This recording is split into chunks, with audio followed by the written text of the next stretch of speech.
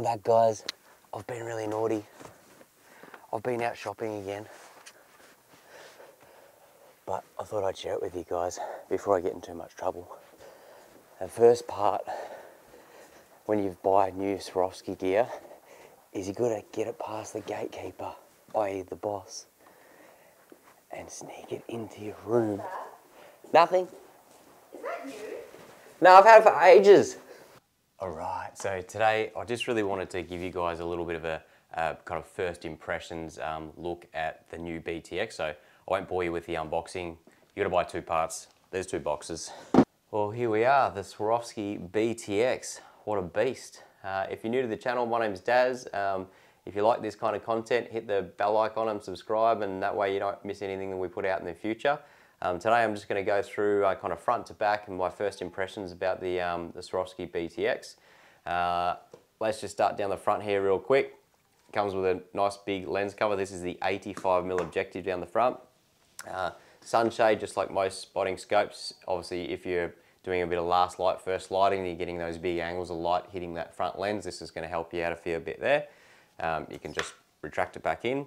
Moving along, you've got the focus wheel here. Um, you'll notice on some spotting scopes, you've got that kind of little, tiny little focus wheel. Here you've got a nice, massive focus ring and it is, it's buttery smooth. It's a nice feature. I find that gloves, no gloves, um, it's been really nice to use. And in terms of um, uh, your focus control, it's actually quite a shallow depth of field on this. So for instance, in the backyard, I had some birds in the backyard I was observing and they were pretty close, like 30, 40 meters. And if you've used um, kind of really nice photography lenses, you'll know that depth of field, it really, you get that background separation. And I could, I could see like even the finest little hairs just behind the beak and all the little, you know, insects that it was picking up. And it's an absolute pleasure to use. So um, the, the thing to note with this, with the, the STX and the ATX, the BTX, they all use the same modular front. So you can obviously go down to your 60 mil sizes right up to your 95s um, and they're all interchangeable. But on the other eyepieces, you've got your variable zooms. Now, these ones, obviously this is fixed, so this is gonna give me, uh, I think it's a 35 power zoom in there, which is, is kind of optimal, I think. In Australia here, we get a lot of um, haze from the Eucalypt haze, so punching in beyond that, often it kind of does get washed out. So I find personally that kind of 20 to 35 is the sweet spot for our conditions. Um, so yeah, just that is one thing to note. Um, over this side, you've got a little um, a screw wheel there you can back off and that'll give you your, obviously your count there. And if you listen, you hear those notches. So you, it does snap to position there. And you can screw that off. Um, and then also we're back to the BTX unit itself. So I'll spin this around so you can get a closer look at it. Back here, we've got another set of lens caps that have got a nice little tether on them so you're not going to lose them. And they just pop down out of the way. Um, when I first saw this, uh, well, it's probably, I don't know, three, four years ago at the Sydney SHOT Show, uh, I kind of thought, what's this thing at the top here? It looks a little bit plasticky, a little bit gimmicky, but in actual fact, this is to support uh, up on the brow here when you're looking through the scope. And uh, it's, a, it's a game changer. You can move it in and out here, and, uh, and honestly, having that extra support there, you don't realize how much of a difference that makes um, just keeping the your eye centered in there. If you ever look through a spotting scope, you know, get those little kind of black rings when you move around. Um, it just irons all that out and you just get that really crisp, nice focal point and you're staying dead center on the edge and just having that extra contact point, it just smoothens things up a little bit. Um, you've got this little outrigger kind of looking thing here. Um, that's your sighting glass. So it's a really handy tool. I haven't had that on any other scopes that I've had, but often if you're looking through a straight scope, it's pretty obvious where you're looking. And when you have found something and then you look away and look for location, you can see exactly where you are. With angled scopes, sometimes it can be a bit disorientating when you spent you know two or three hours and you finally found something and then you look up and you're like, oh, where am I? Where is this like kind of looking into? So in reverse, obviously, if you see a point of interest or some movement, you can get on it really fast because you can just zoom in, look through there. You've got a little dot with a star around it um, and then obviously when you look through, you are bang on in the position that you want to be looking at. Around the back here, obviously what I noticed um, with all myself and a lot of mates using it and we're all taking in turns is that everyone's obviously eyes at a different distance apart. So how Swarovski have combated that is they've got the adjustability here So for people with their eyes a bit closer together and then all the way out if they're really far apart. And then just like your binos, your eye cups here can track in and out. So if you're wearing glasses or if you want to adjust that, that distance from your pupa relief, you can do that here. Um, diopters in the same spot just like you're familiar with on your binos. And lastly, um, we've got the, the button down here, which obviously unkeys the two pieces. So to use that, just push the button in.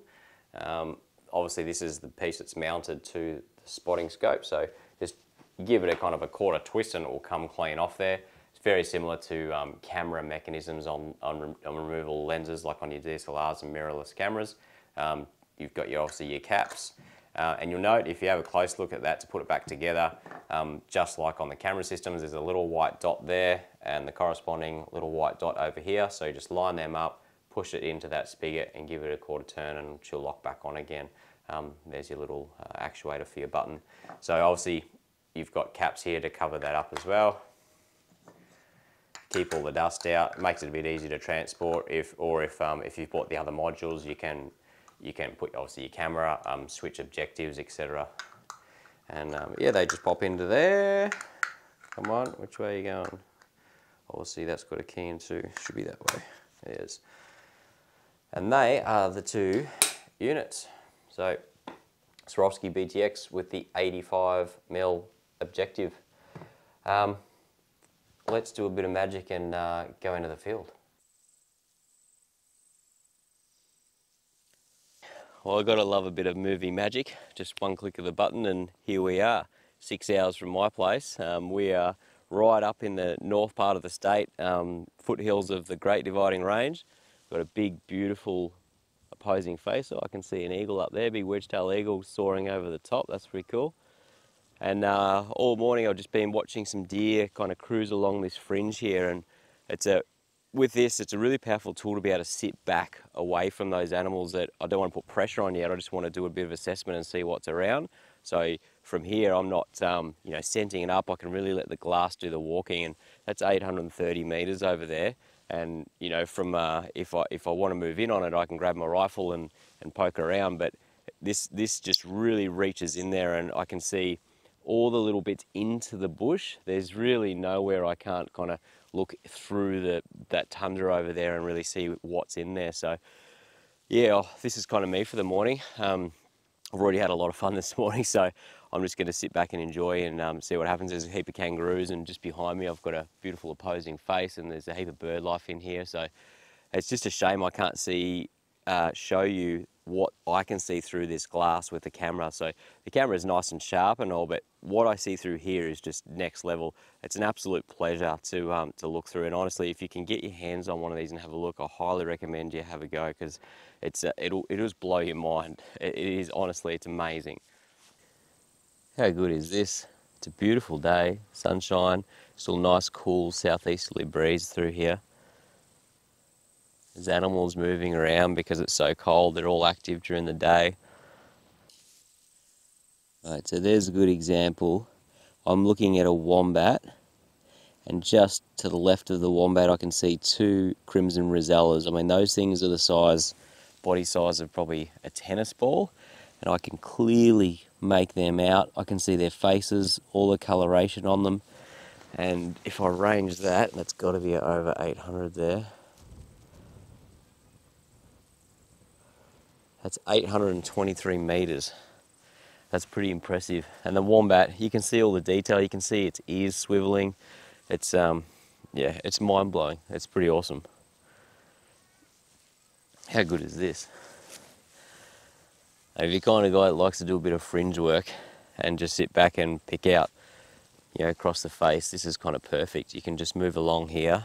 Um, I've been out on this property here just uh, looking for wild dogs and foxes as well. And um, yeah, they move around a fair bit, so I can just move along these faces, sit back, and glass and glass and glass and just check everything out. So a few things to consider if you are looking at one of these is um, obviously they're bulky and they're pretty heavy as well. Now, I suppose there's yeah the pros and cons of that. Um, one thing for me personally, I've got a favourite tripod that weighs well under 800 grams, and it's what that camera's sitting on right now, and I love it. and I can't use that with this. Uh, if you do, you've really got to baby it because it's quite top heavy. So you're probably going to have to go up in your tripod um, diameter, and of course that adds weight. Um, you also, it's much nicer having some kind of fluid head on here, which also adds a bit of weight. So just something to, to consider. They are pretty heavy. So if you're kind of using this in, with the intention of backpack, um, I'd probably recommend to go for something lighter, even a set of say 15s. I use the Swarovski uh, 15s a fair bit. Um, or if you're going to team up and work with a buddy, maybe you know share it. Have one guy carrying the rifle, one guy carrying the, the tripod set up, and that might be the way to go. But um, yeah, together this this combination I've got here, I've just got a set of 10s here. This is the 10 by 42 EL range. Um, this kind of does all the legwork. It's got obviously that GPS and tracking feature built into it as well. And um, these paired together um, for what I'm doing here is, is uh, yeah, it's a bomber combination, that's for sure. Well, that's a wrap, guys. Thanks for watching. I hope you enjoyed the review and uh, found something useful in there. And maybe if you're considering purchasing one of these, um, like when I bought it, there wasn't much uh, info on there. So hence the reason I'm doing this video to help some other people out. So if you like this type of content and, um, and you want to see more of it, just, yeah, hit that subscribe or the like button or um, leave any questions you've got in the comments below and I'll try and help out where I can. Too easy guys, take care, Uru.